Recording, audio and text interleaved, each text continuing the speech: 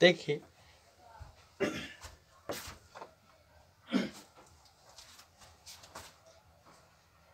प्रश्न है, वित्त के केंद्र से जीवा पर डाला गया लंब को सम्मति भाजित करता है?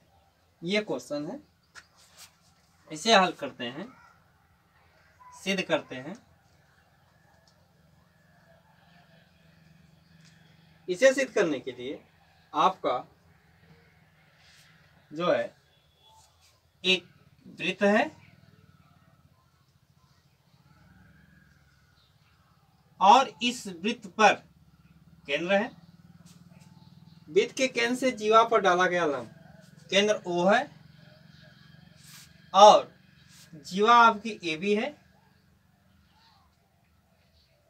ए बी जीवा हो गई। कह रहा वृत्त के केंद्र से जो ज्ञात है, दिया है क्या क्या दिया है? केंद्र ओ दिया है।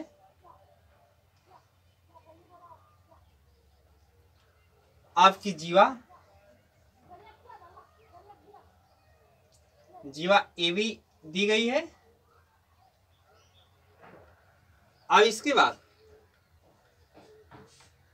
ये हमें दिया गया ज्ञात क्या करना है? जीवा से केंद्र पर डाला गया लम जीवा को समिभाजित करता है। हमको ओ और यम ज्ञात करना है। रचना। रचना हम करेंगे। ओ केंद्र से। ओ केंद्र से। ए बी जीवा पर। ए बी जीवा पर लंब खींचा।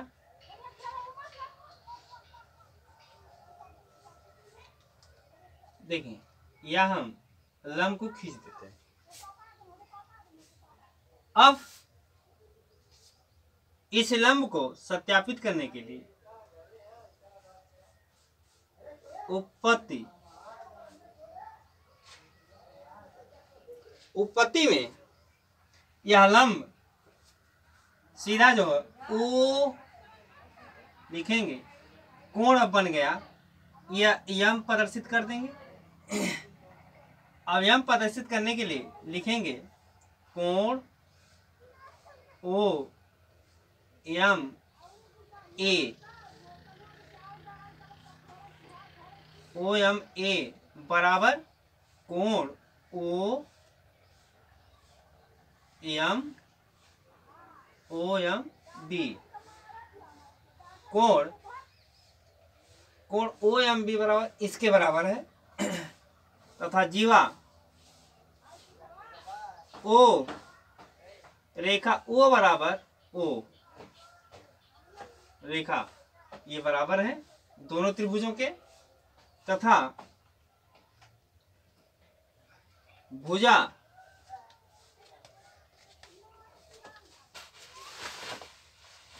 ए। यम बराबर भुजा बी यम। बराबर है शर्त।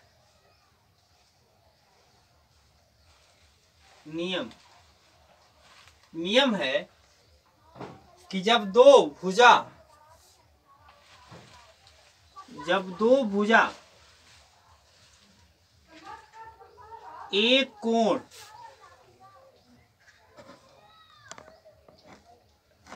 आपस में बराबर है। तो इस शर्त अनुसार लंब ओएम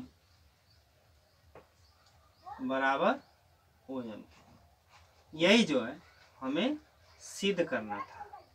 इस तरह से यह जो है, आप समरूप त्रिभुज से या सर्वांग समता के नियम से इसे हम सिद्ध कर सकते हैं, अर्थात वित्त के केंद्र से जीवा पर डाला गया लंब जीवा को समिभाजित करता है। अर्थात वही प्रश्न है।